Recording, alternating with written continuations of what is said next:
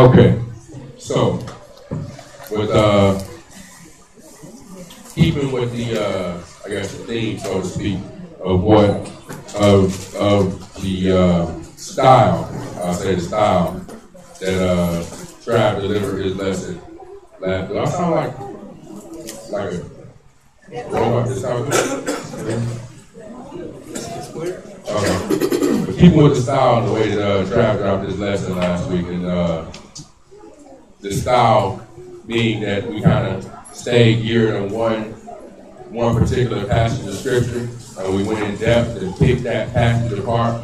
And uh, I felt like that that was good for um, a deeper understanding, grasping a, deeper uh, uh, understanding as to what the text is really saying, pulling out precepts as to why the text says you know certain things. So we're to stick to that method uh, this week as well. We're to deal with uh, the sixth chapter of Genesis. So, if you could all turn your books to Genesis chapter 6 and verse 1.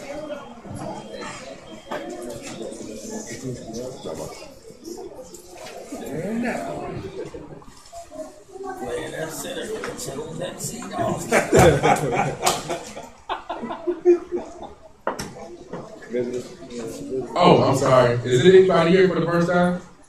Any visitors? Anybody visit, visit for the first time? Everybody been here.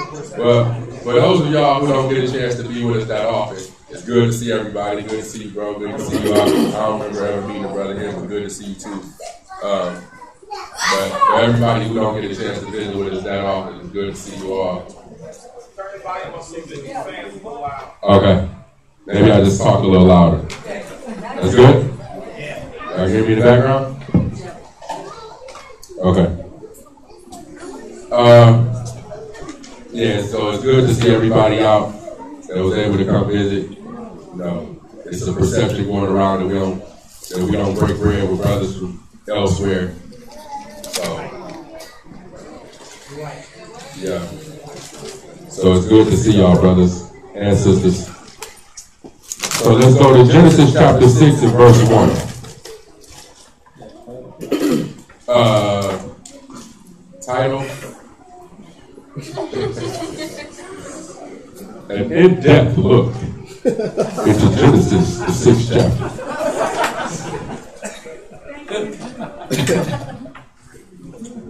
He's playing all week, people.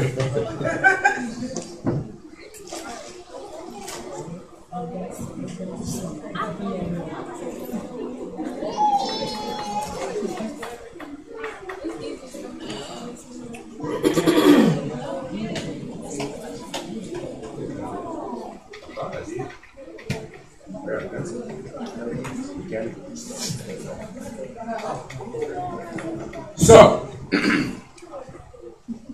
who's familiar with Genesis, this, the sixth chapter? Who has read it before? I see one, two, three, four, five, six. That was a trick question. Everybody was supposed to be like that. I was about to the. Um, so we're gonna we're gonna look in in, in depth, and uh, I'm kind of gonna go through a portion of the chapter. Um, it's, I wouldn't call it controversial, but there have been different understandings that come from this this particular portion of scripture, and so I'm going to give you my perspective and reason why I believe it to to be one way and not the other, and kind of the method that I went through in studying this particular passage. So let's kick it off with verse one. Genesis or Bereshit, chapter 6 and verse 1. And it came to pass when men began to multiply on the face of the earth, and the daughters were born unto them. That's good. So, men began to multiply upon the face of the earth. Immediately, when the avid studier reads this passage, what precept comes to mind? Say again? My man. Get uh, Genesis 1 and 28. Hold, hold your finger in Genesis 6 chapter. Put, put the bookmark there because we're going to be back and forth to that the whole day. The whole day. Genesis chapter 1 and verse 28. And the Most High blessed them. And Yah said unto them, Be fruitful and multiply, and replenish the earth, and subdue it, and have dominion over the fish of the sea, over the fowl of the air, and over every living thing that move upon the earth. That's good right there. Okay, let's go back to Genesis 6. So, the habit, which I know we are all having, we are all diligent in our studies in here. So, me please everybody mute your phone. Everybody, please mute your phone. Um, so immediately, when when you read, and this I just use this as a small example, but when you read certain scriptures, right, and there's a portion that sticks out in your head, and you say, "Wow, that goes right back to," like the doctor said. Then when I when I read that, the first thing that called to mind is be fruitful and multiply. Genesis 20, 28. That is how you deal with precept upon precept, right? Right? Or scripture upon scripture, line upon line, that type of deal. But it comes through reading. Had the brother never read Genesis, the first chapter, that would never have come to his attention when he read Genesis, the, the sixth chapter. You understand what I mean? So, as you read and not hop around from you know place to place, but as you read and read in its entirety and study, you know these these certain things begin to come to mind through reading, right? We get understanding through reading these scriptures. So let's uh, let's uh, read uh, verse two. Genesis chapter 6 and verse 2. That the sons of the Most High saw the daughters of men, that they were fair. And they took them wives of all which they chose. And they what? They took them wives of all which they chose. Okay. So reading this, it says that the sons of the, the sons of the Most High saw the daughters of men that they were fair. This is the the this is where it begins to get a bit sketchy in understanding, where some will say these sons of the Most High were angels. Who heard that before? Yes, everybody? Okay. Then there's some that will say, no, these sons of the Most High were not angels, but they were actually men. Who has heard that before? Who has taken a definitive stance as to which is which? Which is it? Are they men or are they, are they angels? Have you taken this? Yeah, I believe they angels. you believe they're angels? Is anybody? You believe they're men? And, and, and thus, the controversy, right? Because there are some that believe they are angels and there's some that believe they are men. So, I um I personally have a stance on this, and I believe that they are men. And I'm going to run through the thought process, the study process, and how I come to the conclusion that these are men. So uh, today is just a study day, right? I want y'all to study with me. We, we just not just me, you know, we don't want to get into the habit of presenting. You know, it's not a show, but we want to study together because we want to all get to the point to where we're studiers, right? Right? Okay? So let's go to Romans chapter 9 and verse 6.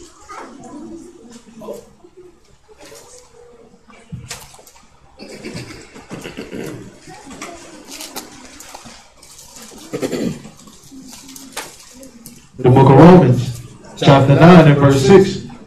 Not as though the word of Yah have taken none effect. For they are not all Israel, which are of Israel. Now, what does that mean? Any, can anybody give me a, what do you think about that? They are not all Israel, which are of Israel. Anybody? You got Israel that's up by blood, but they Hellenized, where they just take on the customs and even practices. Uh-huh. They're not uh, practicing the precepts that were passed down by fathers. Okay, so you're saying you got Israelites that were Israelites by blood, but Hellenized to, as Gentiles. Yes? Okay. What you think of that? Okay. So these are you're saying these are people that are a part of the mixed multitude? Okay. Let's continue reading. Verse seven. Verse 7. Neither because they are of the seed of Abraham, are all the, are all they all children? Excuse me. Are they all children? But in Isaac shall your seed be called. Okay, so neither because they came from Abraham are they all children of the Most High. And it says, because uh, in Isaac shall your seed be called. What does that mean? In Isaac shall your seed be called. Who is, who is the seed of, who, who is the seed of promise? Isaac, right? How many sons did Abraham have? It was more than three. He had many. He had many sons, right? But the seed of promise was who? Isaac, right? So read it again from that understanding. Verse 7. Neither because they are all of the seed of Abraham are they all children. So neither because just because they came from Abraham are they the children of the Most High, but what? But in Isaac shall your seed be called. But through the lineage of Isaac are the ones who were chosen, right? Keep going. Verse 8. That is, they which are of the children of the flesh. Now this is the breakdown. Read it again. That is, they which are of the children of the flesh.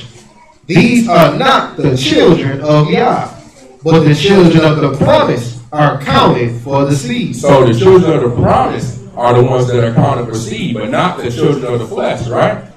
So when we go all the way back to Genesis 1, right? Or Genesis 2, uh, well, 1, 2, and 3, when the Most High created Adam, right? And who was Adam's sons? Say again? His sons. Cain, Abel, Cain and Abel, right? And we know the story of Cain and Abel. What happened with, between Cain and Abel? Cain slew Abel, right? And then what happened? And then there was another son born. Seth, right? Okay, and Seth became who? I mean, who is Seth as it pertains to Adam's lineage? The one that the right to seed to replace the one that Abel. Exactly. The righteous seed that, that replaced Abel because Abel was killed. So Seth was that righteous seed. So let's go back and read Genesis 2 again. 62, I'm sorry. Genesis chapter 6 and verse 2. The sons of Yah saw the daughters of men. Okay. So from what we just read, those who are of the flesh pertain to the flesh. But those who are of the most high are the children of promise, right? So you have the sons of the most high and the daughters of men. We're gonna get more understanding. Let's get Psalms to the 53rd chapter. They start at verse 1.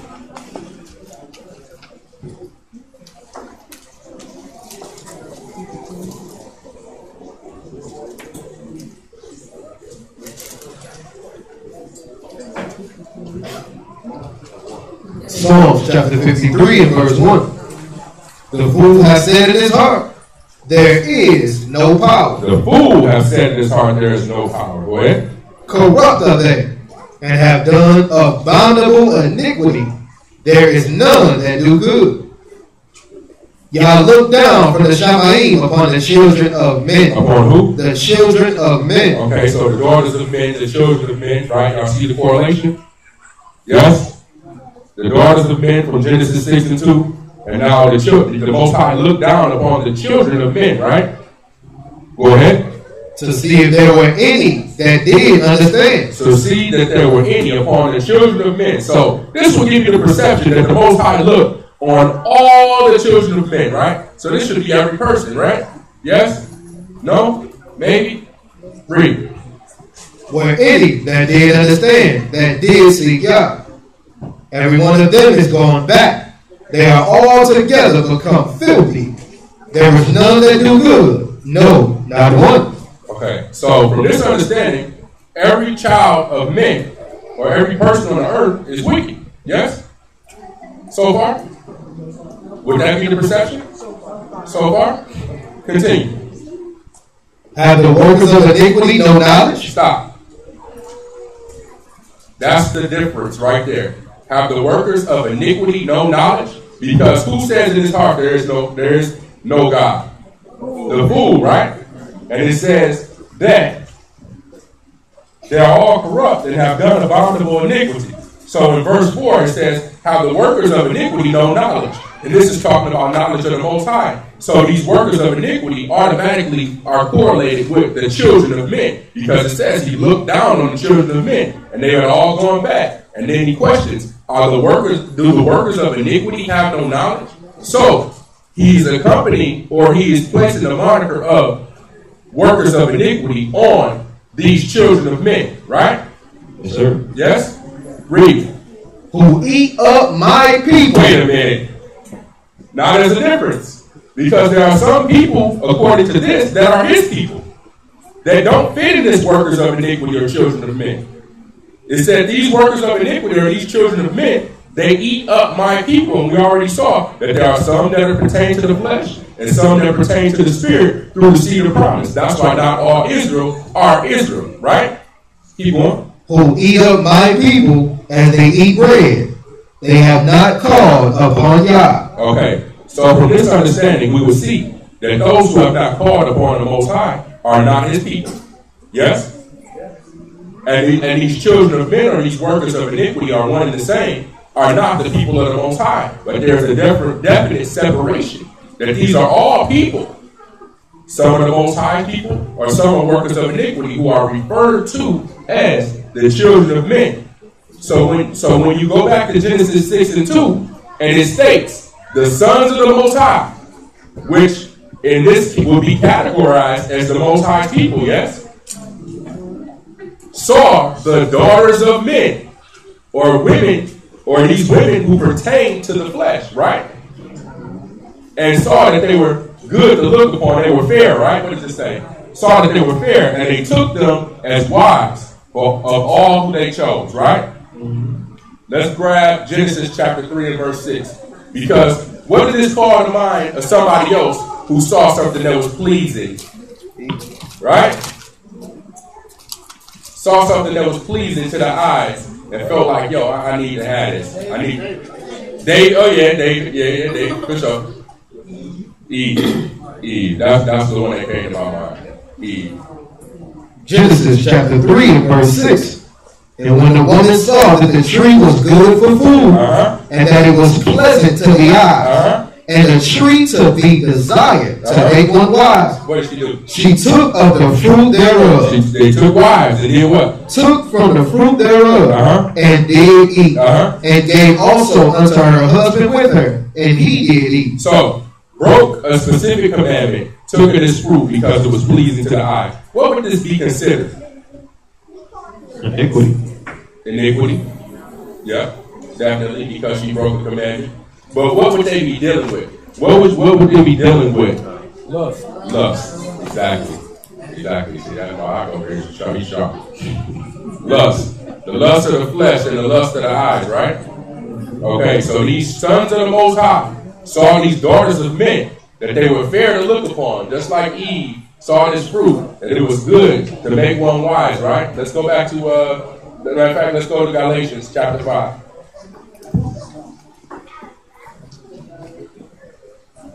No, actually, we don't have to go there. No, yeah, let's go there. Let's go there. Galatians 5 and 16.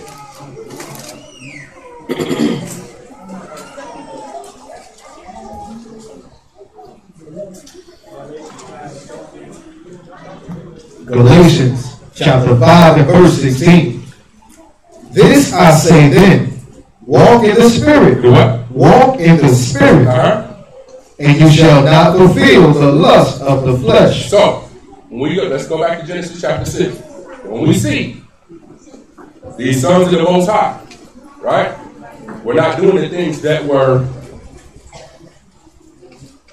of the Most High. When they looked upon these women, they lusted after them to the point where they took them wives. In in my opinion, they disobeyed. They did something that they weren't supposed to do. And we're going to see. We're going to see evidence of this as we continue reading. Let's read verse 3. Verse 3, Genesis 6 and 3. And Yah said, My spirit shall not always strive with man, With angels. with man, With, with angels. with man, That don't say angels? man. So why would he strive with man if he was angels? Read. My spirit shall not always strive with man, for that he also is flesh. Okay. So then read that part again. And Yah said, My spirit shall not always strive with man, with man because what? for that he also is flesh. So we're reading this. You have to understand. Also means that something else was flesh, right? So we know that the daughters of men were flesh. Yes. So he says that my my um, get it right. My spirit shall not always strive with man, for they are flesh also. So in this particular in this particular passage of scripture, we got the sons of the Most High, we have the Most High, we have the daughters of men, right? Those are all that's been mentioned thus far in this passage of scripture. So we have already determined that the daughters of men are people, flesh. Yes? Yes? Okay. And then we have the Most High, which we know is not people, it's spirit. Yes? Yeah? Y'all with me? Okay. So if something else in this passage was flesh, also, what would it have to be? The sons of the sons of the Most High, right? Especially if they if they if, if you read through the scripture and it says that they looked upon the daughters of men and saw that they were fair and took them as wives, and then in the next passage he's saying, My soul, my spirit shall not always strive or have strife with men, because he's flesh also. So if these was angels that did this, why would he strive would have strife with men? Right? Wouldn't he have strife with angels? Let's keep reading the whole verse. No, matter of fact, you can stop right there. Um, grab Isaiah chapter 63.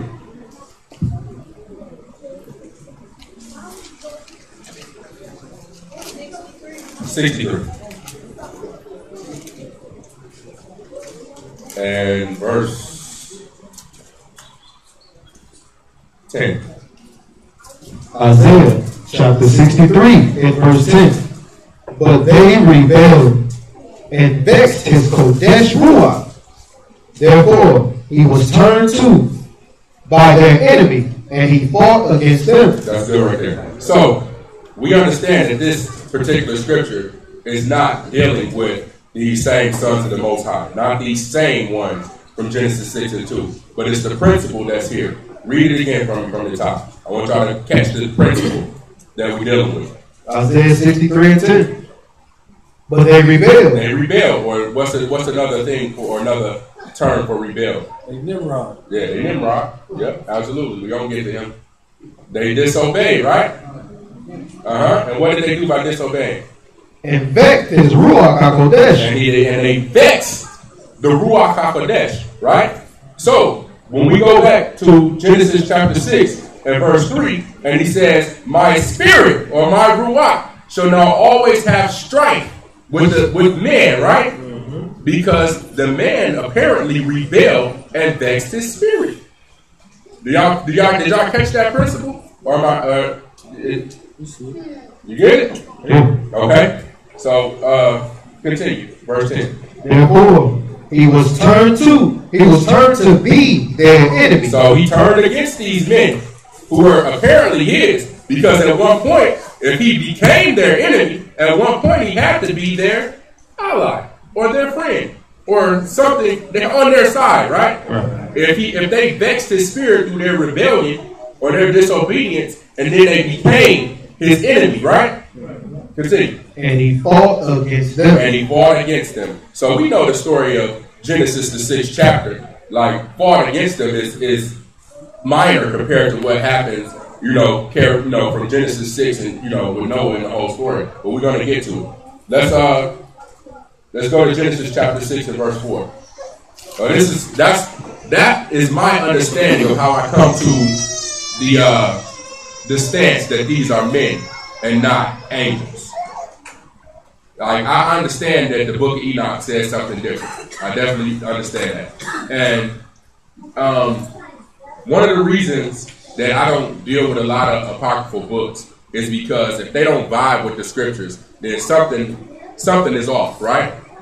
Uh, when, when I deal with the scriptures, we know I know dealing with the scriptures when it was wrote, who wrote it, these certain things. Dealing with certain apocryphal book, books is sketchy on when it was wrote and who wrote it. I'm not saying that the book of Enoch is no good. What I'm saying is that it that- that portion of the book of Enoch is not vibing with what the scripture says right here.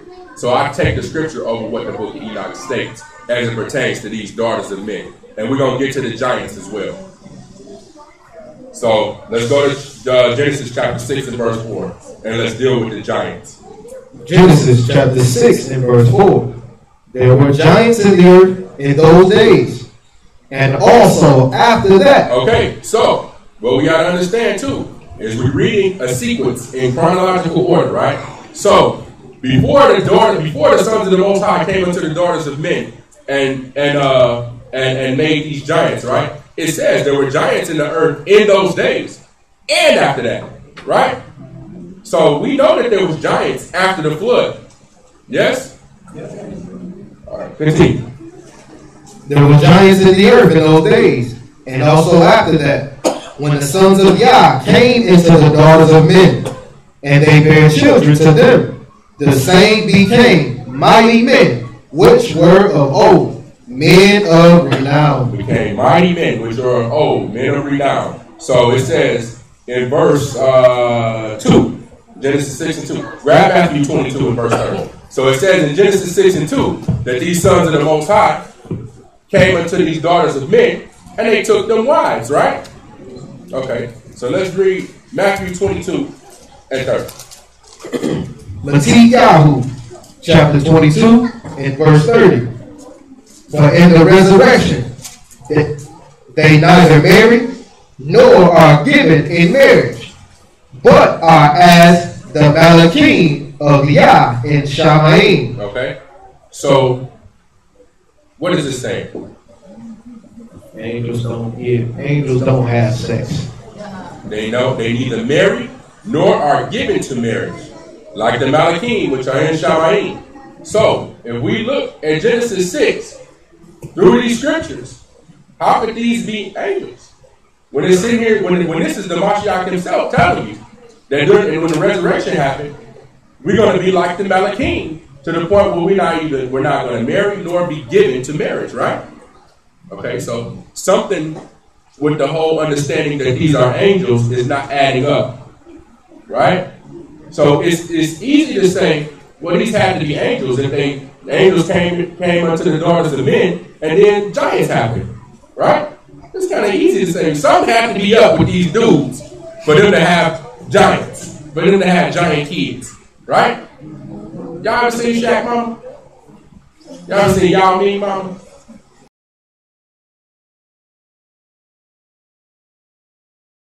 You know Chinese people are short. we gonna get to the Giants. Let's go to uh, let's go to numbers thirteen to thirty-three.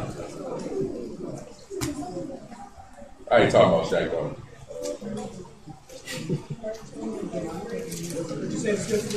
Uh, numbers thirteen to thirty-three. Numbers chapter 13 and verse 33.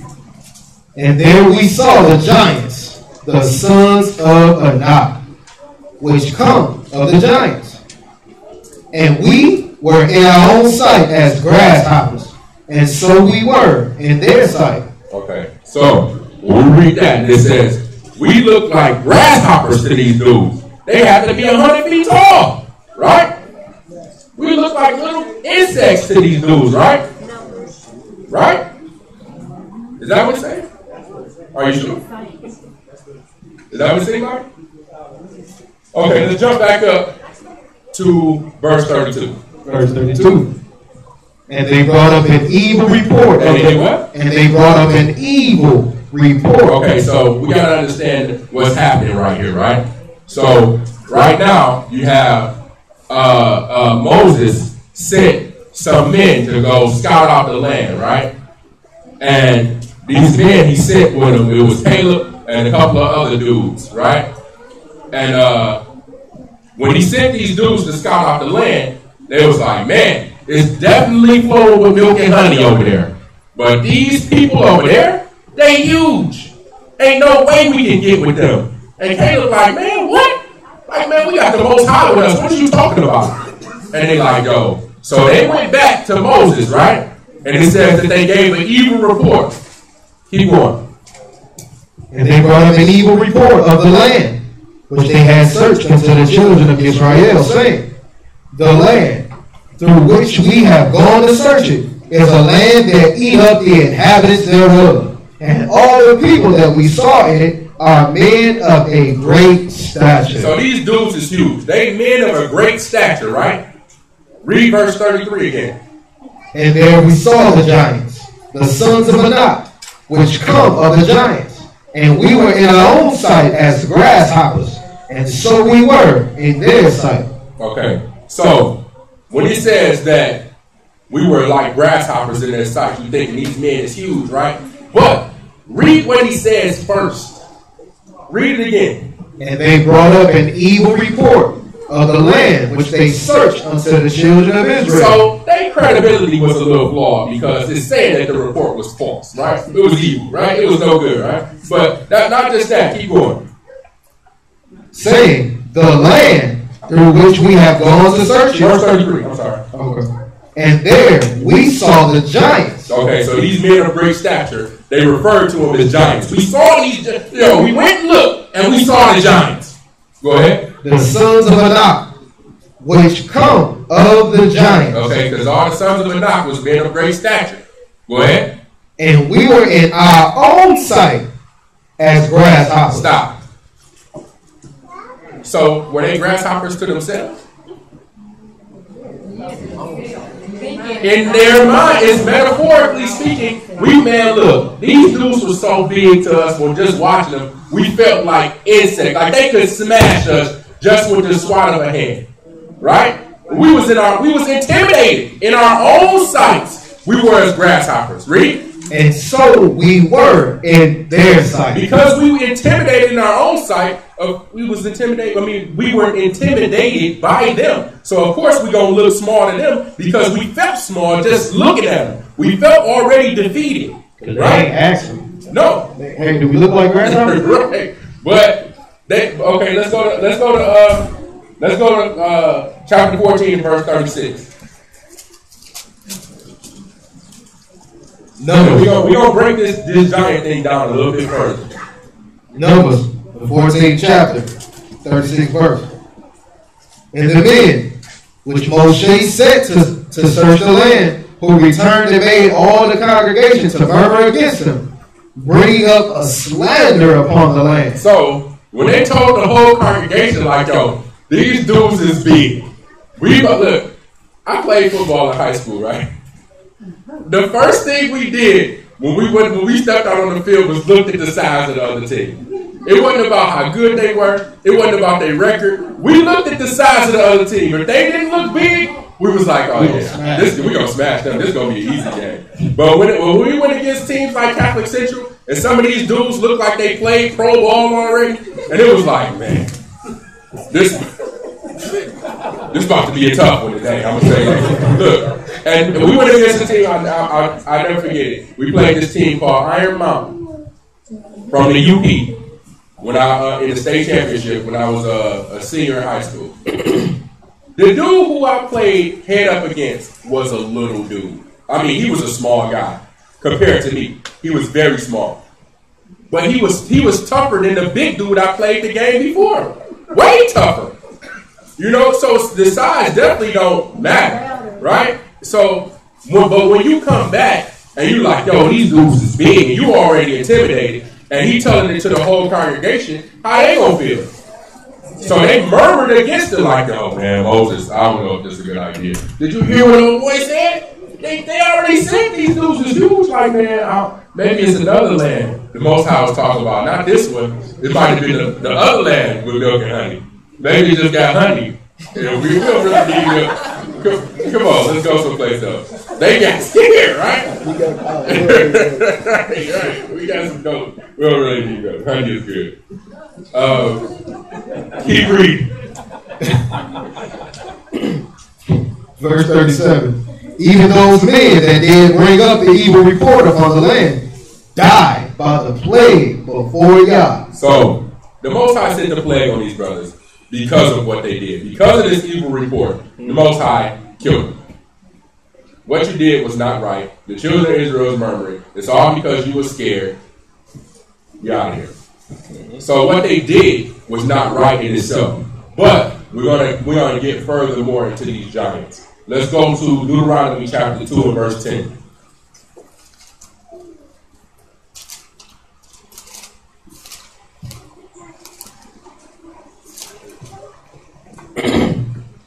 Deuteronomy chapter 2 and verse 10. The Emims dwelt therein in times past, a people great and many and tall as the Anakims. So these people had to be giants too, right? They was tall like the, just like the Anakims. Read. which also were accounted giants. These were also they were also accounted as giants. They was tall just like the Anakims, and was counted as giants. Go ahead. as the Anakims. But the but the Moabites called them Emims. Okay. So let's deal with first with this uh this word giants, right?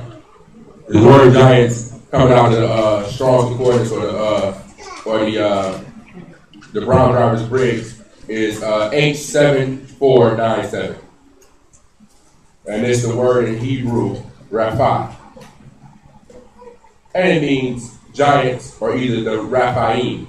So Raphaim was the name of a certain people of great stature, mighty men who was considered giants. So anytime they saw people who were big of a great stature, they placed that, oh, Rapha, right? Dealing with the Raphaim. So we got to see where did these Raphaim come from, right? Let's go to Genesis 14 and 5.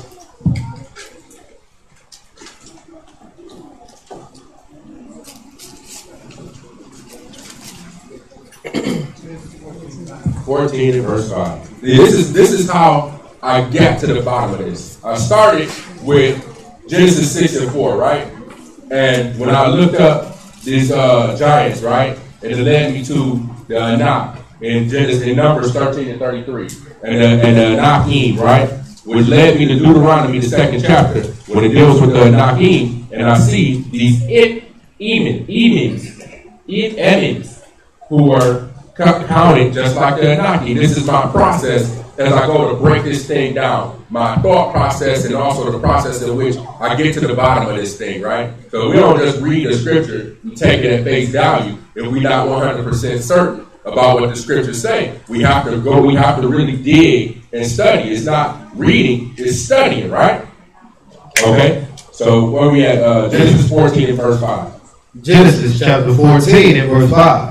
And in the 14th year came Shedel, Shedelamed and the kings that were with him and smote the Rephaim and Ashtaroth, Karnaim, and the Zamins in Ham, and the Emims in Shaveh, Kiriathaim. Okay, so all these different people, right? We see the Raphaims, or these giants, and the Amims, which were also called giants, was smashed out by this by uh Chedorlaomer, right? And and do you notice where it says that they were in? Where they were? In Ham. Where and then also the, these Anakim, where were they when the, when the, when the children of Israel came? Where were they? in the land of Canaan, right? Which is the son of Ham, right? Okay, let me see the correlation between Ham and these so-called giants. So let's go to 2 Samuel chapter 5 and verse 18.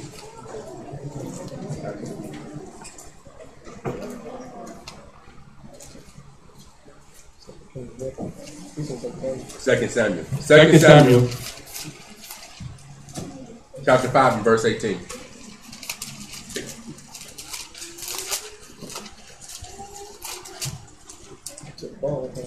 Yeah, yeah, we gotta get to the marrow of this joint. Second Samuel chapter 5 and verse 18. The Philistines also came and spread themselves in the valley of Rephaim. So the Philistines came and they spread themselves in the valley of the giants, right? Now, what's the what's the the, the, the correlation between the Philistines and giants? Goliath, and not just Goliath. Who else? Who? Well, well, I'm saying who else was what the, the correlation between the Philistines and the Giants? Not just Goliath, but and Goliath's brother. Goliath's brother was a giant as well, considered a giant. Yeah, and so and so it actually gives Goliath size in the scriptures, and I think it was like something like what was it thir- thirteen cubits or something like that? I think it came up like nine feet or something. Yeah, like nine feet, which Six cubits in a span. Six cubits. In a span. and a span was it like nine feet or something like the eight or nine feet? Somewhere, somewhere between nine and eleven, depending on the bag. Yeah, something like that. I know it's thirteen cubits, but I know a cubit, a cubit or something don't don't correlate to a foot. But either way it goes, this man was roughly ten foot tall, right? Right. Now, I'm about six four. I don't look like a grasshopper to a ten foot tall dude. Nobody in here would look like a grasshopper to a ten foot tall person. And ten foot tall, but ten feet tall to us would look like a giant. Like this dude is a giant. We would even refer to like this dude is a giant. People would say that's about about me. I'm only six foot four. Hey, this, this dude is a giant. I mean, even Quab is, a, you know, what I'm saying, six foot giant, man. Right? So, so we gotta understand perception, right? But we're gonna further break this thing down. Let's go to 1 Samuel chapter 17 and verse 4.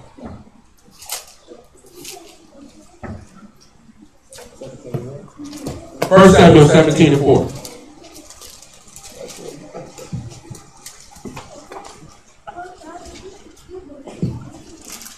First Samuel, chapter 17 and verse 4. And there went out a champion out of the camp of the Philistines, named Goliath of Gath, whose height was six cubits and a span. So six cubits and a span. There you go, right there. So I'm looking up right here if it tells me how much was a cubit. Eighteen inches. 18 inches. A cubit is 18 Eighteen inches. inches, I think the span was like ten, so it was like nine foot ten or something. Nine foot ten. Yeah, bro. Okay. So all roughly ten feet, right? Okay. Let's go to uh, First Chronicles 20 and verse 5. First Chronicles chapter 20 and verse 5.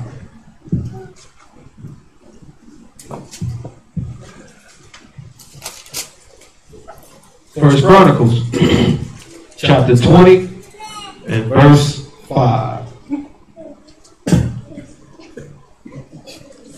My bad. And there was war again with the Philistines. With the who? With the Philistines. Uh-huh.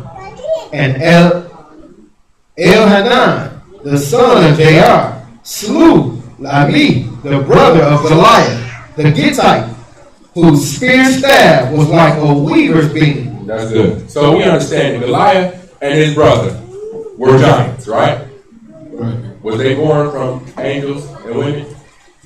The Philistines? Were they? Okay. Let's go to uh let's go to Genesis chapter 10 and verse 6.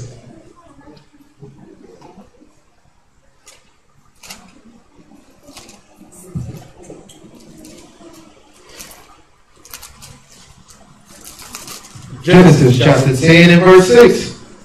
And the sons of Ham, Cush, and Mizraim, and Phut, and Canaan. Okay, so the Libyans, the Canaanite, we know that, right? We know that, right? Uh, jump down to verse uh verse 8. Verse 8. And Cush begat Nimrod. He began to be a mighty one, Hey, what? a mighty one Uh-huh. in the earth. Uh-huh. Jump down to verse 13. Verse 13. And Mizraim begot Ludim, and An- Anamim, and Leha- and Lehabim, and Neph- Nephtahim,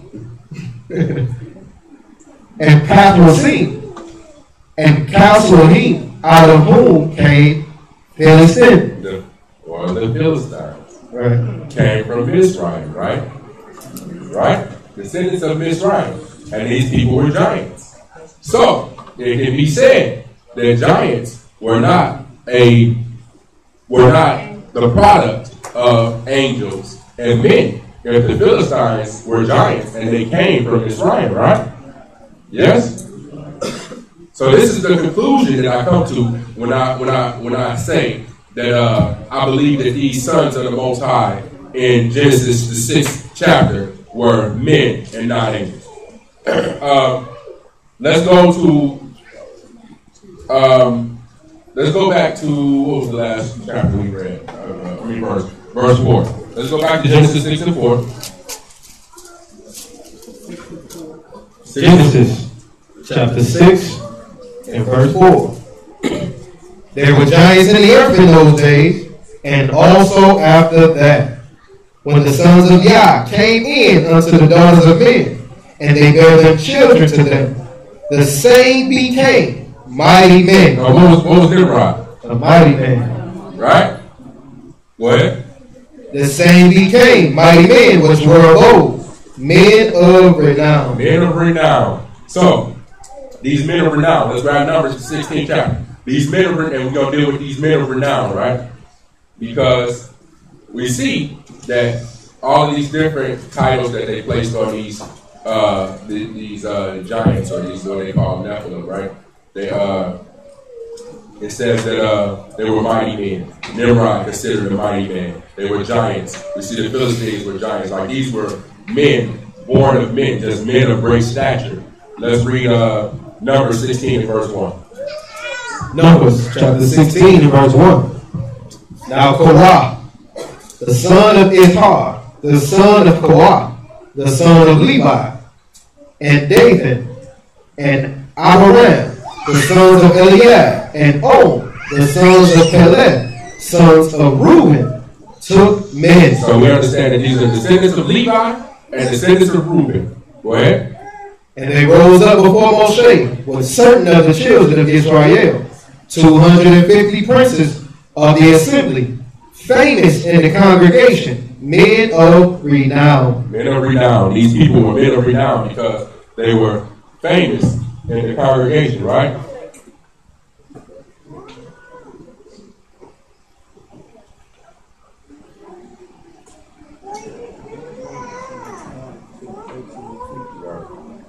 And he was still, that was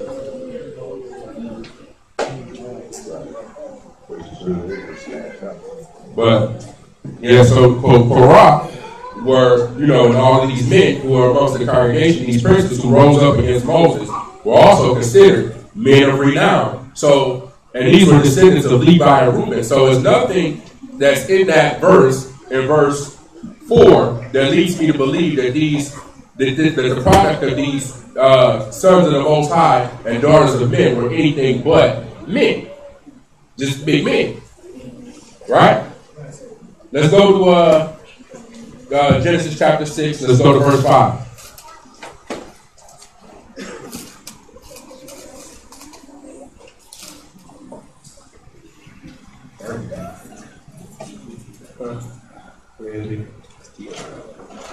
Genesis chapter 6 and verse 5.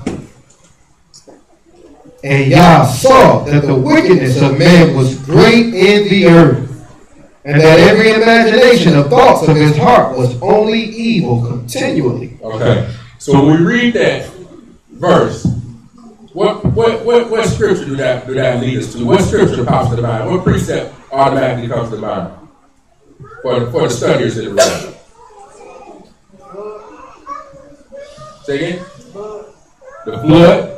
Yeah, we, we well, this is all dealing with the flood, but I mean the fact that it says uh, that uh, and they and, and, and, and that every imagination of the thoughts of his heart was only evil continually. The Huh? The heart, right? The heart. Let's go to uh, Jeremiah chapter 17 and verse 9. What you just saying something? You said the heart. Throwing out buzzwords or you uh, Jeremiah 17 and 9.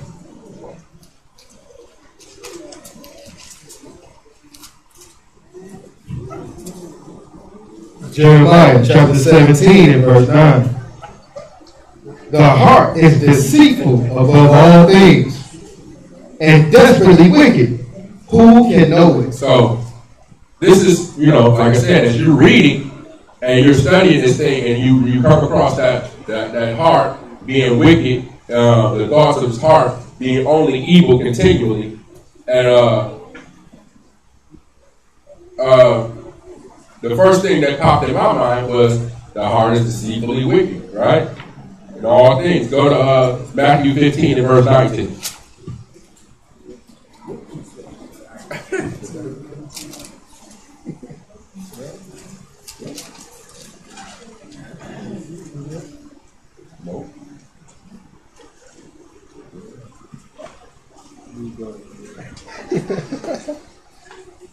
Matthew 15 and 19. Matthias chapter 15 and verse 19. Got an ad going on.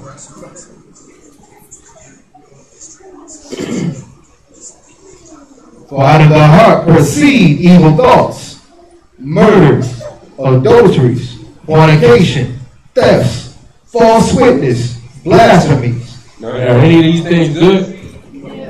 All evil, right? So out of the heart proceeds wickedness or evil. If you have a wicked or evil heart. And then I want to uh, deal with this continually, right? In Genesis 6 and 5. It said, and, and the Most High saw that the wickedness of man was great in the earth, and that every imagination of his thoughts and of his heart was only evil continually. Uh, that continually is the are two Hebrew words, right? They they make it that one word, but it's two Hebrew words: cow, yom. We know what yom is. Say again. Day. You know what cow is?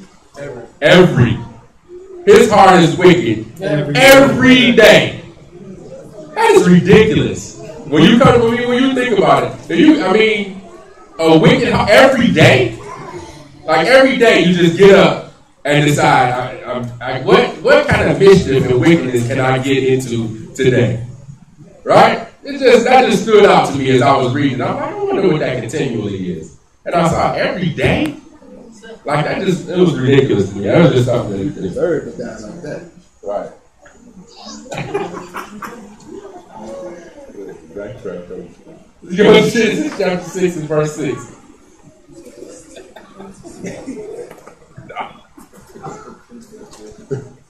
Genesis chapter 6 and verse 6. And it repented Yah that he had made man on the earth, and it grieved him at his heart. So he, re- he repented him that he had even made man. Now, when you read that, what automatically pops into mind? Exodus. Say again?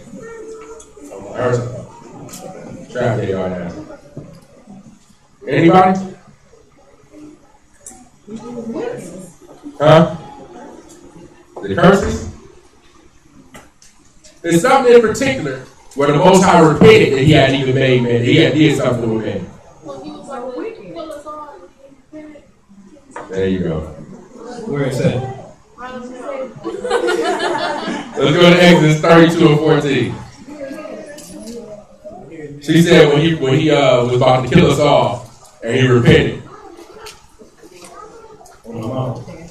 Exodus 32 and verse 14.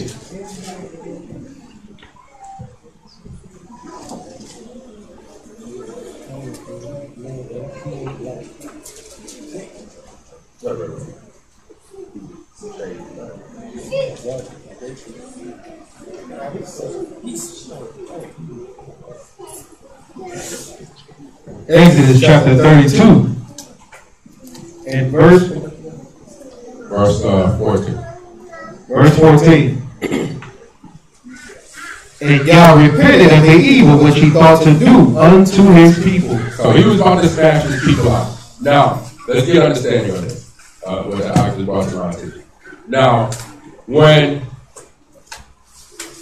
when the Most High was about to smash us out, was he well within his right to smash us out? Okay, and and on top of that, it wasn't like he hadn't done it before, right? Because what did he say when he was going to smash them out? When uh, I think it's uh, verse verse fifteen. Verse 15. Uh, no, no, no. Wait, wait, wait. Make a great. Yeah, yeah. Is that verse two? Verse, uh, verse 10. Verse ten. Verse nine. Verse nine. Verse nine, Exodus thirty-two. And Yah said unto Moshe, I have seen this people, and behold, it is a stiff-necked people. Now therefore, let me alone, that my wrath may wax hot against them, and that I may consume them, and I will make of you a great nation. Now we're gonna deal with this further a little bit later, but we know that he did it already before, right? Man was was wicked continually. He smashed them out, and he made a great nation of who? Who? Who? Exactly. Ain't it the same situation what happened with Noah? Men, the, the men on the earth was wicked. The Most High smashed them out, and he made a nation of Noah from from Noah rather. So it wasn't like he hadn't did it before.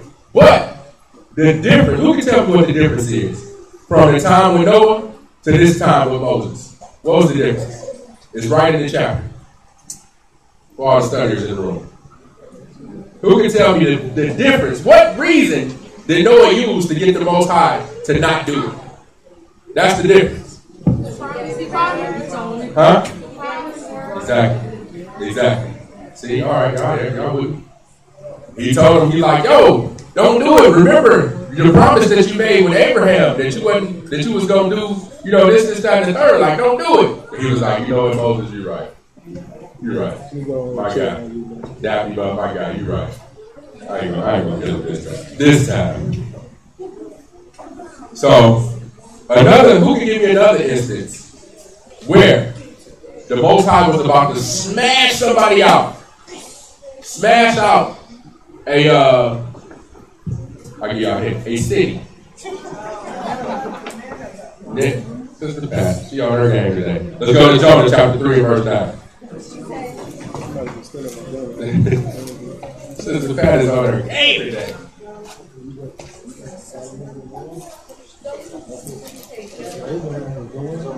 Yeah. Yeah, exactly.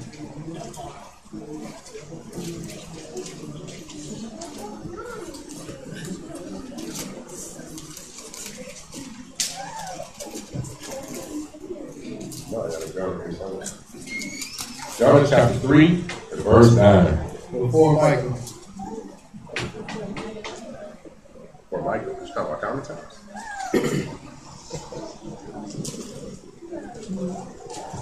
Rome got it. Who we got? Three and nine. Jonah chapter 3 and verse 9. Who can tell if Yah will turn and repent and turn away from his fierce anger? Now notice that he's what he's turning away from. He's not turning away from sin. He's turning away from what? His wrath. His anger, his wrath, right? Read. And turn away from his fierce anger, that we perish not.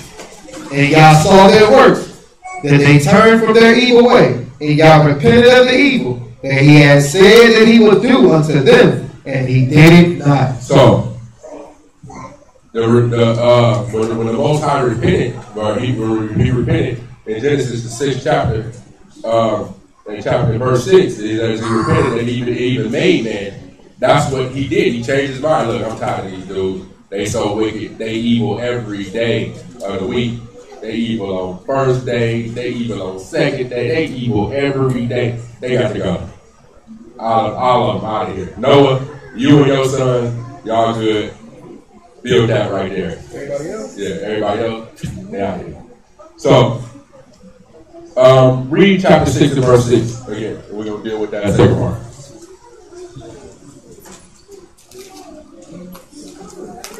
The second portion of this verse, Genesis 6 and 6. Genesis chapter 6 and verse 6. And it repented Yah that he had made man on the earth, and it grieved him at his heart. It grieved him at his heart, like he was upset to the heart that he even made man, right? Anybody sympathize with that? Grab Deuteronomy chapter 5, verse 29. Anybody sympathize with that? I know none of us in here. We might not have like uh what do you call it, weight, weight of children, of children that uh kind of turned out not the way we uh, would have wanted to, them to. and it grieved and it grieved you at your heart that your child is not what you you know. It's like this is my baby. You know, I remember when he was in diapers, running around cute, doing this, and I can't believe he turned out to be. You know, a thug, or I can't believe he turned out to, to, to and, and committed a crime, and we like grieve to our heart. Like this is similar to what the Most High is dealing with, right? That he, what he's going through. He's like I'm made, like I'm made out of the to tend the earth. Like I, I intended for him to have rulership over everything, and all these all his descendants they like wicked, and it, it just grieved him at his heart. Like I can't believe it. Oh, ah, I gotta kill them all. Verse twenty nine. Deuteronomy chapter 5 and verse 29. Oh, that there was such a heart in them, that they would fear me, and keep all my commandments always, that it might be well with them, and with their children forever. So this is that, that grief that the Most High is feeling. Grab uh, chapter 32. This is that grief that he feeling. Like, oh man, if they would just listen. Like if they would just listen and, and keep my commandments. Like I wouldn't have to keep sending them into captivity. I wouldn't have to keep smashing them out. I wouldn't have to destroy their cities. I wouldn't have to put them off the land that I intended for them to have. Like this is that that grief, right? I mean, as grieving as grieving parents to a certain, I, I, and I equate it to parenthood because it's something that we all can sympathize with. But it's like when you want to do something nice for your child, right?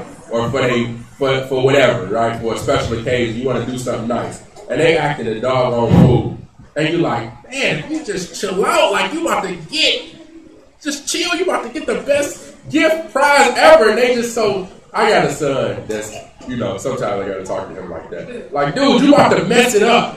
Just stop. If you would just listen, you don't even know you about to get, you know. So it's like you know, so I can understand. This is what I was. This is what I'm thinking as I'm reading. It's like, man, BJ be doing this sometimes. I just sack that joke upside his head. Uh, verse twenty nine. Thirty-two or twenty-nine. Deuteronomy thirty-two verse twenty-nine. Deuteronomy 32 and 29. Oh, that they were wise. Oh, that they were wise. That they understood this. That they would consider their latter end. So this is what the Most High is dealing with, even now to this day, dealing with us. And when, when we got people that's disobedient, if they would just consider the latter days, if they would just think about what's going to happen in the end, and it would, you know, hopefully it would turn them back to me, like it was grief, grieving him, like, man, I did not, I didn't intend for them to be this way. Uh, Psalms 81 verse 13. I didn't intend for them to be this way. If they would just consider what what the, the latter days at the end, if they would just consider what was going to happen to them when it all go down, and they you know and just turn back to me and keep my commandments. Psalms 81 and verse 13. Oh, that my people had listened to me, and Israel had walked in my ways. Similar, the same situation. And notice how all all three of the verses kind of start the same way. Like, oh, I wish they would just listen. Like, and they all, it was like, like, like you said, I kind of like grieving him to his heart. It was hurtful. Like, man, if they would just get it. Like, why do I got to keep doing the same stuff to them over and over again? I got to. Ain't y'all signing the same song and dance? In captivity, out of captivity, in captivity. Of, don't you? When y'all gonna get it? Like, you know, it was frus- frustration to a certain extent, right? Back to Genesis chapter 6, verse 7.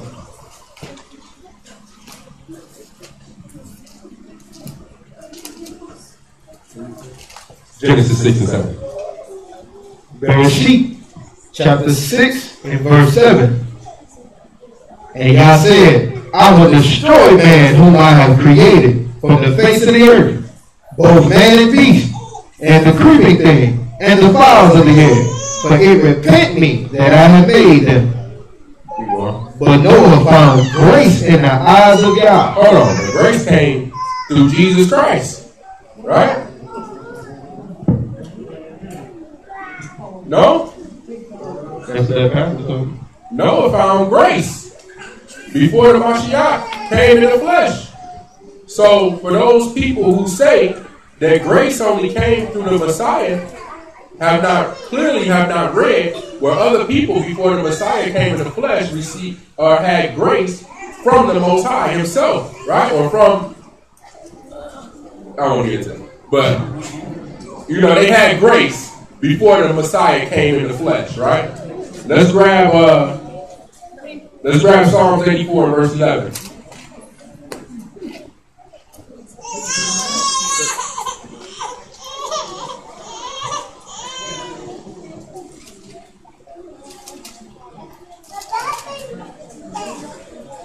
Psalms 84 and verse 11. For Yah is, at, is a sun and shield. Yah will give grace and esteem. No good thing will he withhold from them that walk uprightly. Uh, Until the Messiah comes. No good thing will he withhold from them that walk uprightly. So it says that he will give grace and esteem, and no good thing will he withhold, from them which walk uprightly. So apparently, a person could receive grace from the Most High if they were walking upright before the Messiah came in the flesh. However, there was a need for the Messiah to come in the flesh. Don't get, I don't want y'all to get that twisted. But just showing that when people say, "Well, see, we now we saved through grace," but grace been there all along. It wasn't like grace is a new thing. Grace been there. Even way, way back when, during the time of Noah, that was the whole reason Noah got spared. And the lineage went through him. It's because he found and he found grace, just like they say in verse 8. And Noah found grace in the eyes of the Most High. And we're going to see why Noah found grace a little bit later on in the chapter. But read verse 12. Verse 12. O Yah hosts, blessed is the man that trusts in you. Blessed is the man that trusts in you. What scripture do that do that do that call to mind? Cursed is the man. Off top. If blessed is the man that trusts in you, then cursed is the man that trusts in man. That's like, that's like, uh, man, that's like uh, when you like, like when you come into the truth. Matter of fact, grab grab uh, Jeremiah. Jeremiah uh, was it, 17, right? So when you first come into the truth, right, and cast these spew, you know, a lot of us that came out of Christianity or that deal with brothers and sisters that, that was dealing with Christianity, and they spewing all this Christian mumbo jumbo these different uh uh uh uh, uh, uh what's the word I'm looking for? Cliches, right? These different Christian cliches you, right? And then uh and they talking about my pastor this. Now my pastor don't do that. My pastor don't do it. You hit him with this boy off top. You had this boy waiting for him right there. What yo pat man? Get Jeremiah 17 to 5. Go ahead. Jeremiah uh, 17 and 5. Thus saith Yah, cursed be the man that trusts in man. I mean, that boy right there was a head buster. I mean, all time, especially when we was on the when you were on the street and the joker get to come up there talking that past about pastor stuff and this pastor that and TD Jakes this and Creflo down that. Man, get Jeremiah 17 to 5.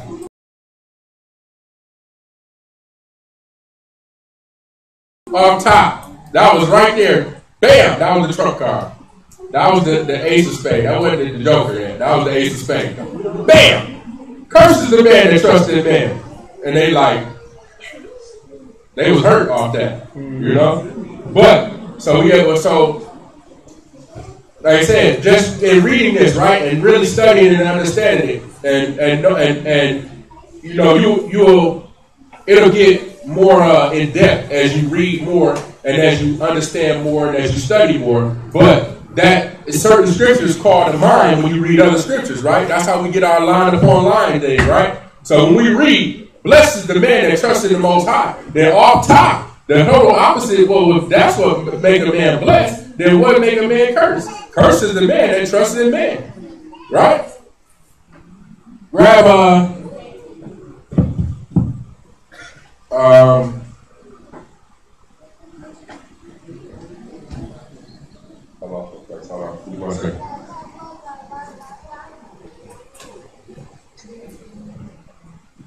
Uh, Genesis, go back to Genesis 6, verse 9.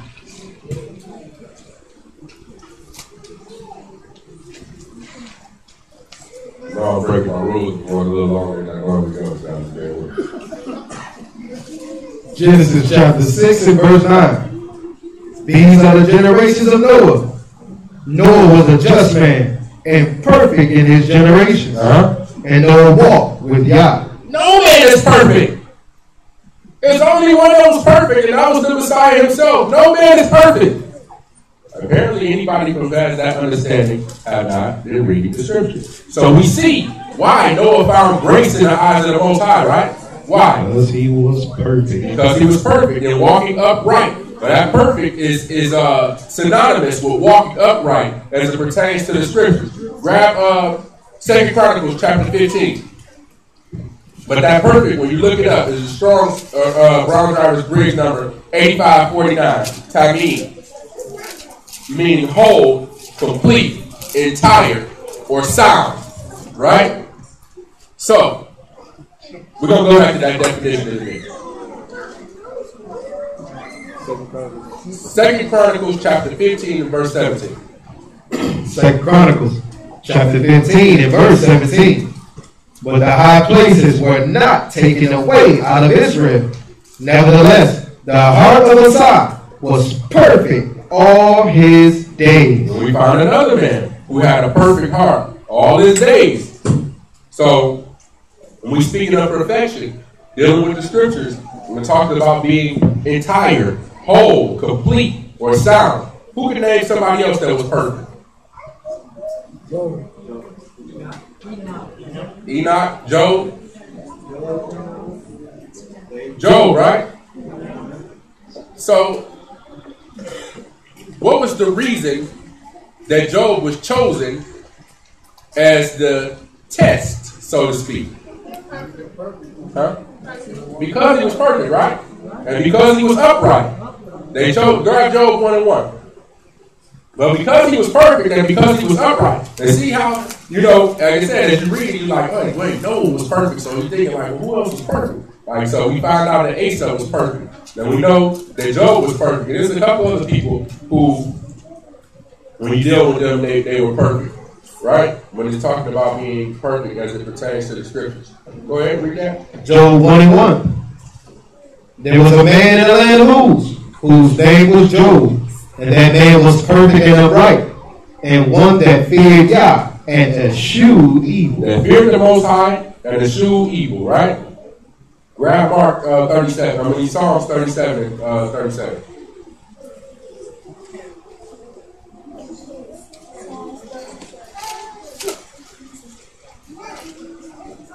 Psalms 37, 37. Mark the perfect man, and behold the upright, for the end of that man is peace. So notice how it, it, it shows that perfection, as it pertains to the scriptures, is synonymous with being upright, right? Yes? Yep. Okay, let's grab uh, Matthew 5 and 48.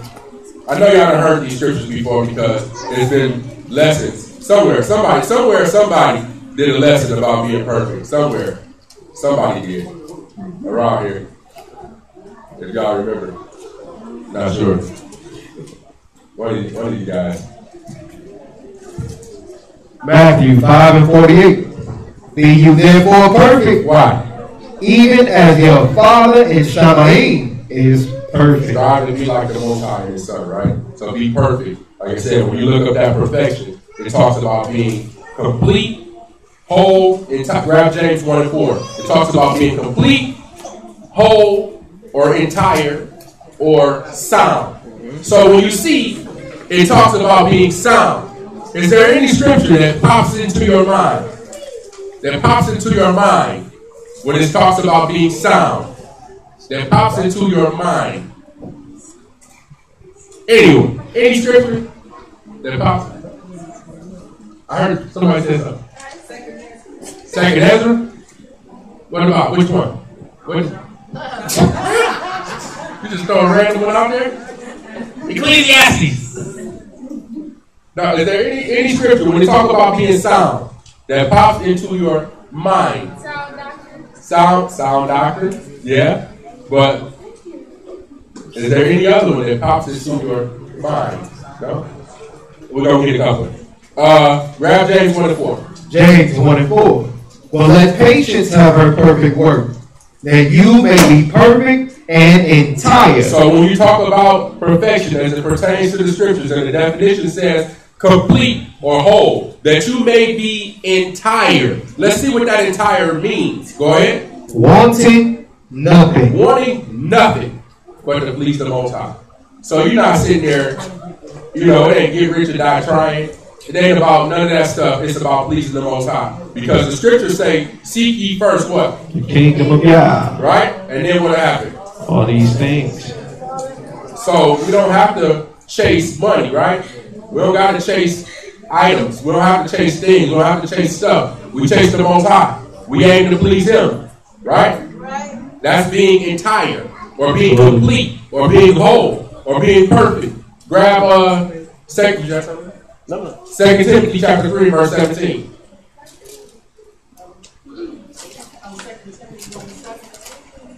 There we go. That's what I'm talking about. That's what I'm talking about. Grab Second Timothy one and seven first. Second Timothy chapter one and verse seven. Second epistle to Timothy, chapter 1 and verse 17. But when he was in Seven, seven, seven, seven. Oh, verse seven. Yeah. verse 7, for Yah have not given us the spirit of fear, but of power and of love and of a sound mind. See, when I said I was saying mind, I was trying to hint y'all that sound mind. Somebody got it. I don't feel so bad because somebody got it. So of a sound mind. So the Most High didn't give us a spirit of fear, but of power and of love and of a sound mind. So when we when we look at perfection and it speaks about being whole or entire, we, we see from James it says wanting nothing. And the fact that the Most High gave us power, love, and a sound mind. So that sound, as it pertains to perfection of, of being upright, is talking about being sound in your mind because we know that a double-minded man is what? In all his ways. Not just some like a double-minded. We know some double-minded people, right? We know some double-minded. You just said you was going to do. I know, it. You're unstable, bro. You're unstable. Let's just deal with that. You're unstable. Let's just deal with it. Leave it alone.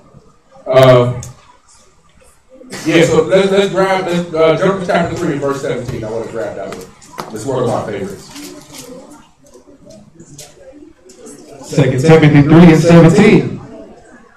That the man of Yah may be perfect, thoroughly furnished unto all good works. Thoroughly furnished unto all good works, the perfect, complete. And I always use the analogy when it says thoroughly furnished of an actual room being thoroughly furnished. Like when a room is thoroughly furnished, it's complete, right? When you have a living room or a dining room without a dining room table, it's hard to really call it a dining room if ain't no dining room table in it. It's just where the dining room should be. You know, you have a pool table there, so it ain't, it ain't the dining room no more. Right? But if it's a dining room table in there, that's thoroughly furnished, right? It's complete in, in, in, in, in what a dining room should be. There's an area in the room for dining, right?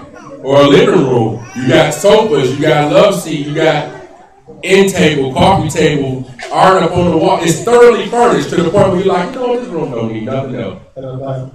And a lamp, you gotta have a lamp. Gotta have a Because we know in Detroit there ain't no lights in the living room. gotta have a lamp. Uh, let's grab uh, Let's grab chapter 6 and verse 10. Genesis 6 and 10. we almost do.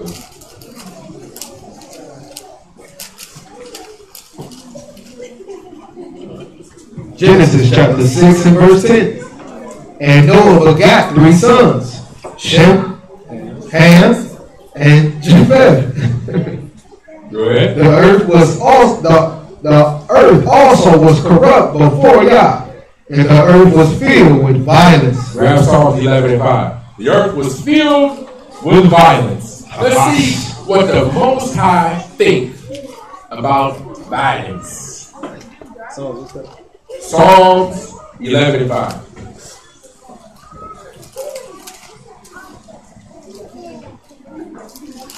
Psalms chapter 11 and verse 5.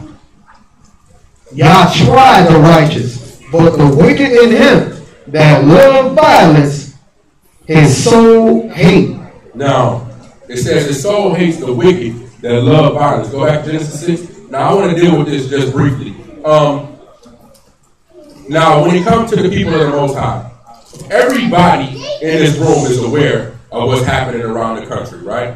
We all aware of the attack that's being, you know, uh, uh, presented to our people, that's being brought to the forefront, and they and they, they got all of this different, um, uh, what you call it, uh, propaganda that they put out here to try to take your attention off of the fact that they choking brothers out and that they they killing our brothers.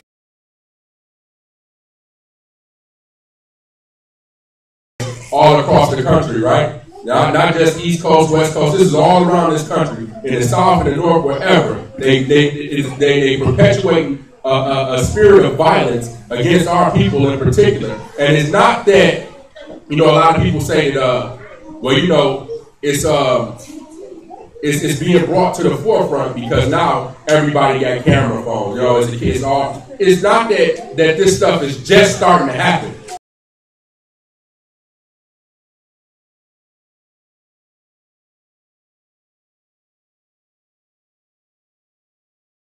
This stuff has been happening wherever. It's just the fact that now you have the, the fact that you can you can show this at the touch of a button. You can you can show it, right? But this is something that the Most High is saying specifically in, in the book of Psalms that his soul hates. So all this violence that's being perpetuated against our people, you know, is going to be dealt with. It's definitely going to be dealt with. And it's being done for a reason. But at the same time, we have to be of a sound mind at all times, right? Don't put yourself in a bad predicament as it pertains to this stuff. And it's like some some of these things that I, I you know, we all that deal with social media watch these different videos with somebody getting attacked, a little girl getting thrown to the ground. A brother getting brutalized by these police. And,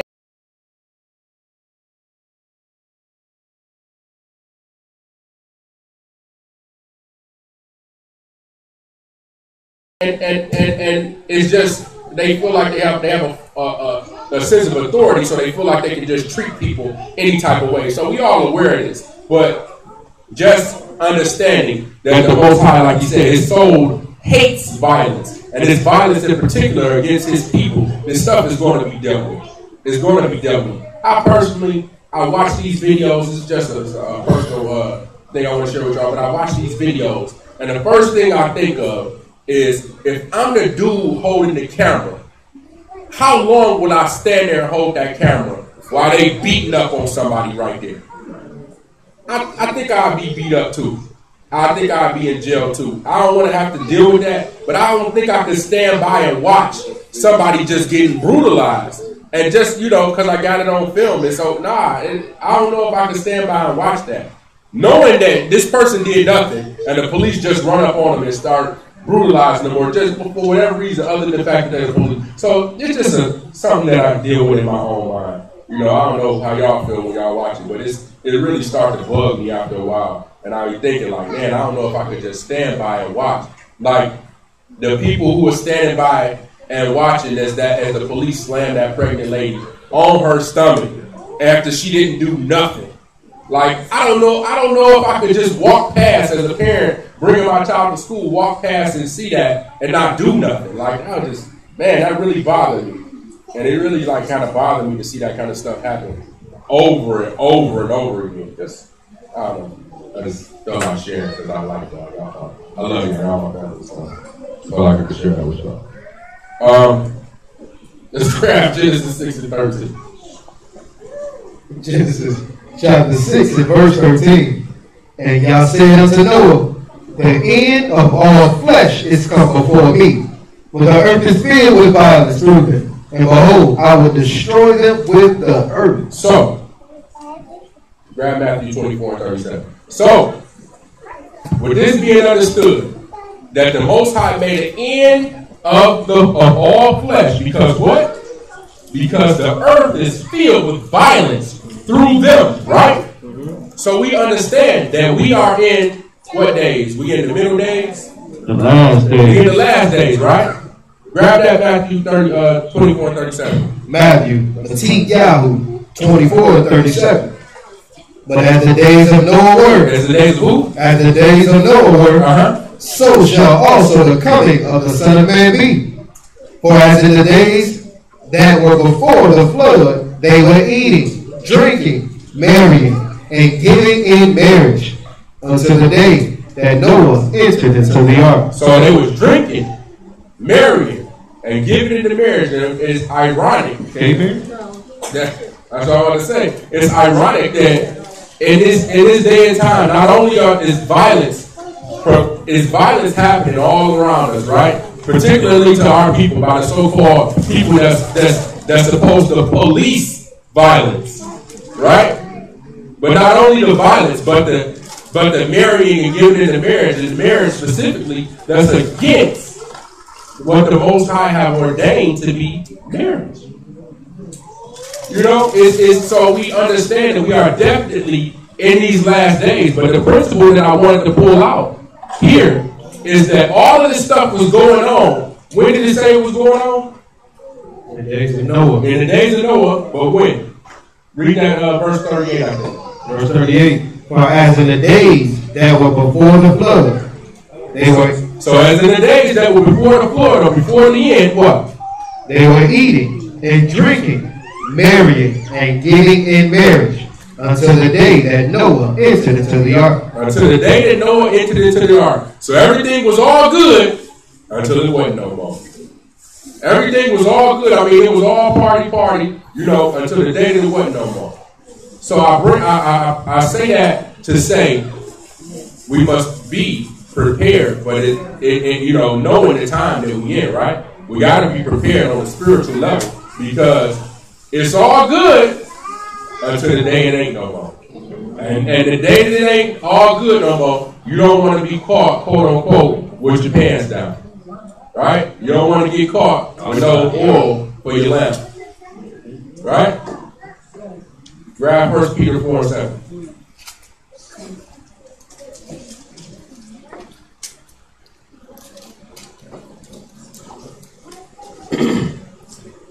First Peter chapter 4 and verse 7. But the end of all things is at hand. Read again. Read again. But the end of all things is at hand. Be you therefore sober and watch unto prayer. So the same thing I was just saying. We want to be prepared, right? We want to be prepared. Nothing like when the day go down and we've been walking this walk, right? And we've been talking this talk, and one day we decide that we're gonna do otherwise, and it's the day, and you're like, oh, what have I done? It's gonna be, it's uh, literally, it's gonna be chitty chitty bang bang. Let's, grab chapter, uh, chapter 6 and verse 14. Genesis. Yeah, Genesis 6 and 14. Genesis chapter 6 and verse 14. Make you an ark of gopher, gopher wood. Rooms shall you make in the ark, and shall pitch it within and without with pitch. And this is the fashion which you shall make it, make it of. The length of the ark shall be 300 cubits, the breadth of it 50 cubits, and the height of it 30 cubits. A window shall you make to the ark, and in a cubit shall you finish it above. And the door of the ark shall you set in the side thereof, with lower, second, and third stories shall you make it. Okay, so who knows the significance of this window? I was testing. I don't really know either. I just was testing because I ain't know. And, and I was reading. I was like, I wonder what's the significance of the window. And I didn't really look into it because it didn't. What'd you say? Yeah, I think so too. They have to have a way to look out to see when it stopped raining, right? Right, this is the open. This is the open. There, it is. Stained glass with a dove and an olive leaf. Going. And behold, I, even I, do bring a flood of waters upon the earth to destroy all flesh, wherein is the breath of life. From under shall I eat, and everything that is in the earth shall die. Uh, let's go right there. Grab, uh, of keep going. But with you will I establish my covenant, and you shall come into the ark, you and your sons, and your wife, and your sons' wives with you. That's good. So we already uh, went through this, right? When uh, when uh, the, uh, the Most High said He was going, you know, He destroyed everything, and He was going to establish the covenant with Noah and his family, right? And we know a couple of, we already dealt with a couple of, well, with another instance where the Most High did this. Can anybody name? Well, we, we talked about with Moses, right? Can you name another instance where the covenant was established with a certain a certain gentleman of old age?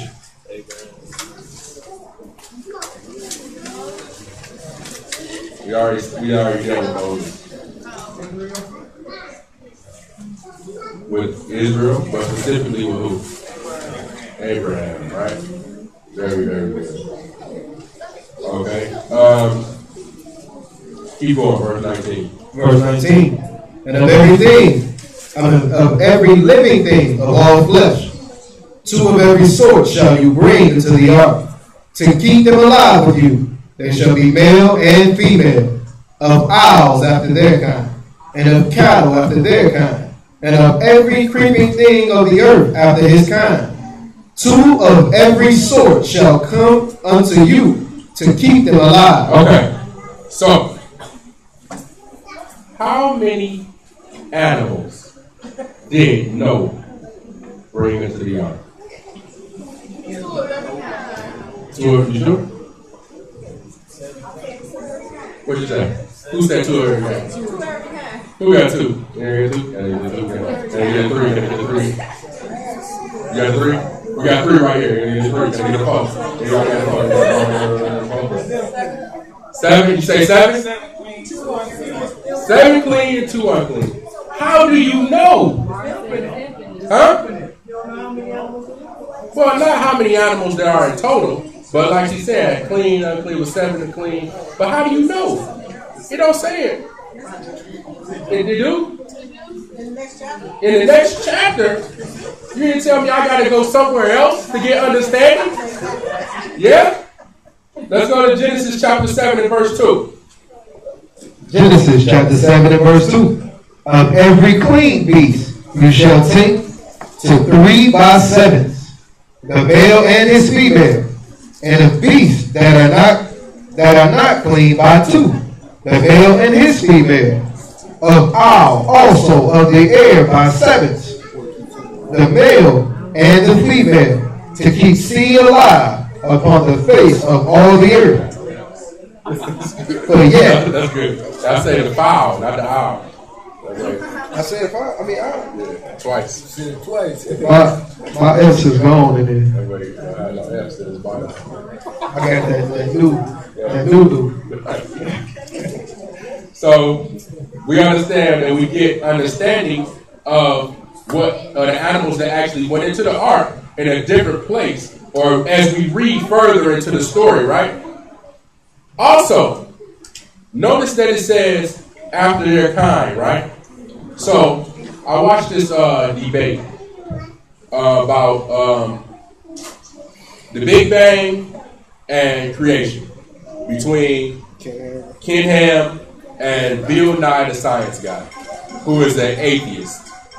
Bill Nye the Science Guy is an atheist. So, yeah, yeah. In so many words, Ken Ham pretty much smashed Bill Nye the Science Guy and his little bow tie and all that. He smashed him out. But because one of Bill Nye's arguments in this particular case was about the, about how many animals actually got onto the ark. So he's like, oh, so there was seven of this and seven of that and two of these and two of that. That would have been so many different animals. Da, da, da, da. But what he failed to realize, and what Ken Ham pointed out to him, is the fact that it says after their kind.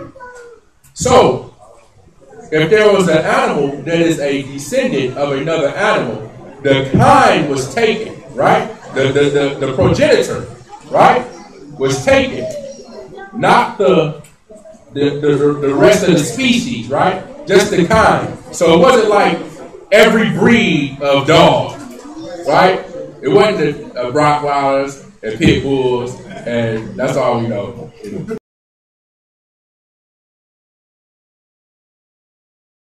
That's all we know. German shepherds and yeah, poodles. That's all we really know about.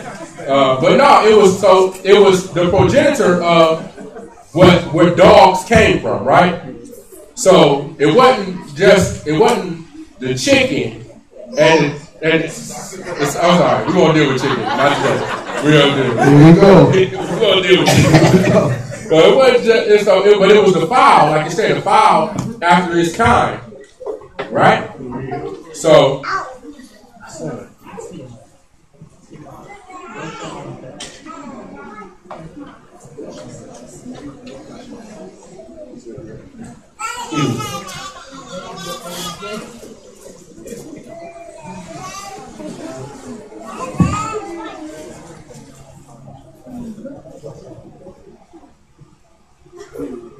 Right, so that's that's what I what I wanted to point out uh, right there. And uh, so what did that bring us to? When when it started when it says two after each after their kind, right? What do we what do we automatically think of as a precept to that? Say again? Male and female, yeah. But what precept in particular? When they talk about the kinds. Yeah. The creation, right? So the Most High created beasts of the field and fowls of the air and fish of the sea after their kind, right? That's how He created them. So of course, if He was going to preserve them, He would preserve them in the same way in which He created, right? Simple, simple, simple, simple principle. Let's uh, let's go back Genesis six and verse twenty-one. Genesis chapter 6 and verse 21. And take you un- and take unto you of all food that is eaten, and you shall gather it to you, and it shall be for food for three, I mean for you and for them. So for you and for them. So is that the reason why he had to get seven clean animals? No, because he said gather food for you and for them. So he had to get some. He had to get some elk for the lions. No. How you know? It say gather food. So he got seven animals that was clean because they had to eat them, right? They was eating. He had seven chickens because they had 40 days and 40 nights. You go eat a lot of chicken. I'm telling you. Who gonna chicken? All right, of course they. so It was that's why it had to be made of gopher wood because it was wet. It, it wouldn't burn, right? No. No. What you say, sister? D? What you say, brother? D? They wasn't eating me until when? How do you know? They had to preserve them. But how do you know? I just hear you talking. Somebody getting ready. Precepts, t- precepts talk, and he precepts run the marathon. Right? Let's go to Genesis 1 and 29. Genesis chapter 1 and verse 29. Genesis chapter 1 and verse 29. And Yah said, Behold, I have given you every herb bearing seed, Every what? every herb bearing seed, Every chicken bearing feathers?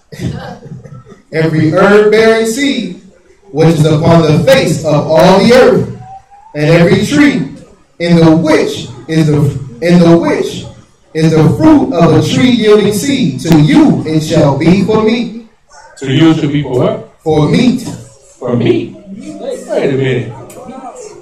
Wait a minute. How can a herb be for meat? That don't even sound right. Read it again. Clearly there was a typo. You already know there's no F's in your Bible. In the which is the fruit of a tree yielding seed to you, it shall be for meat. Okay, keep going. And to every beast of the earth, and to every fowl of the air, What and they eat? and to everything that creep upon the earth wherein there is life, I have given every green herb for meat. And it was so. Was so. So the, so the, so the herbs was for meat. But how do we know that they didn't eat actual meat until they got off the ark? You find that precept in your mind? No? Let's go to Genesis 8. Genesis the eighth, the eighth chapter. And let's read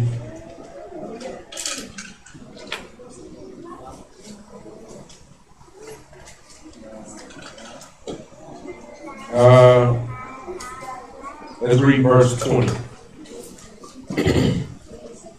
Genesis chapter 8, verse 20.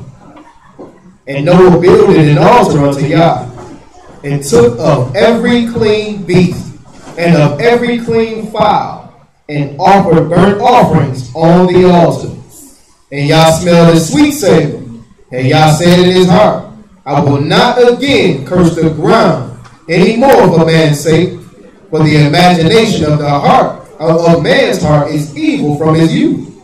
Neither will I again smite any more everything living, as I have done. While the earth remained, seed time and harvest, and cold and heat, and summer and winter, and day and night shall not cease. Chapter 9, verse 2. Genesis 9 and 2. And the fear of you and the dread of you shall be upon every beast of the earth, and upon every fowl of the air, upon all that move upon the earth, and upon the fishes of the sea. Into your hands are they delivered. Every moving thing that lives shall be meat for you. Now we talking. Every, now we talking, right? Every moving thing shall be what? Meat for you. Keep going. Even as the green herb have I given you all things. So, go ahead.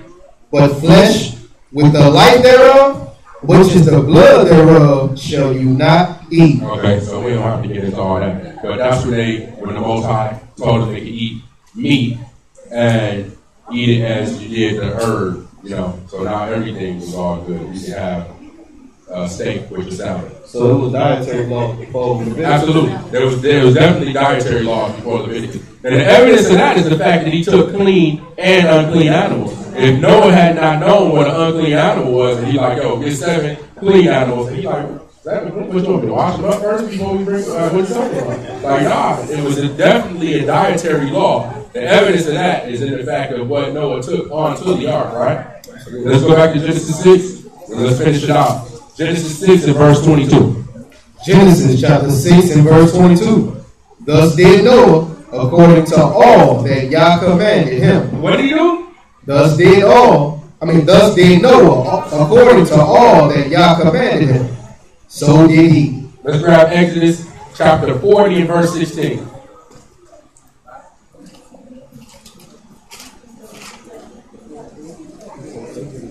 Exodus 40 and 16.